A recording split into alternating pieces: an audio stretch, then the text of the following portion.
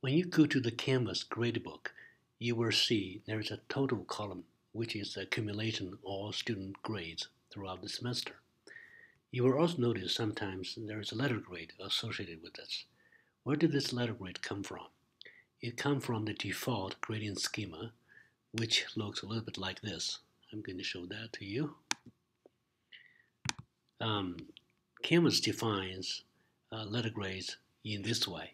94% and up is an A, 90% uh, through 94% is A minus. What if this is not what you have in your syllabus and you want to change this? Um, that can be easily done. Sometimes there are um, situations when you need to change this. For instance, you want anybody who earns 90% and up to earn an A, not an A minus. To change that, go to the course homepage, uh, click on the course link here, and then go to settings.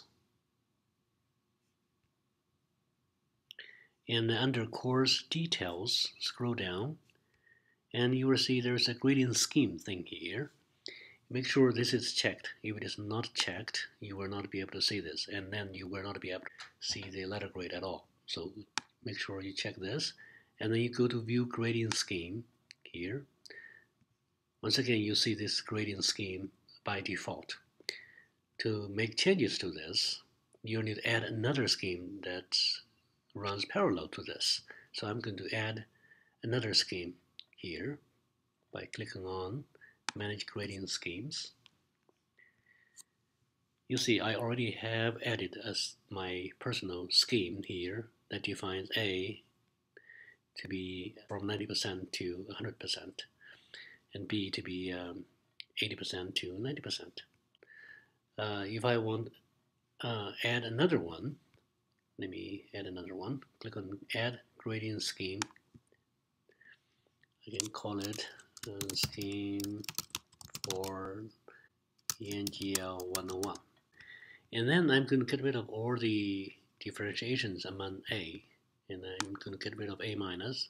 I'm going to get rid of B plus and B minus, C plus, C minus, D plus, and D minus. So I'm going to leave only A, B, C, D, and F. Now I can define A to be um, 90%.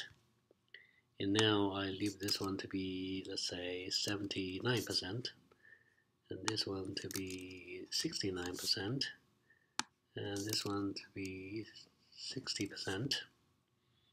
Okay, and then I'm going to save this. So I have defined another scheme for my letter grade translation. So it is called Scheme for English 101.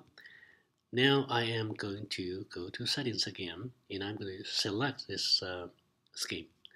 Click on settings. Go to what uh, we have uh, gone to earlier. Click on view grading scheme. And then I, I'm going to click on select another scheme. And I'm going to select the one that I just created. Scheme for English 101. Click on that and use this one and then click on done and then make sure you save these settings by update course details. Click on that. Now let's go back to grades again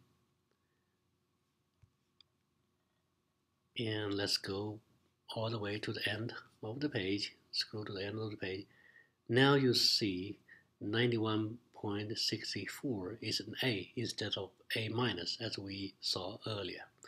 That means the new scheme has kicked in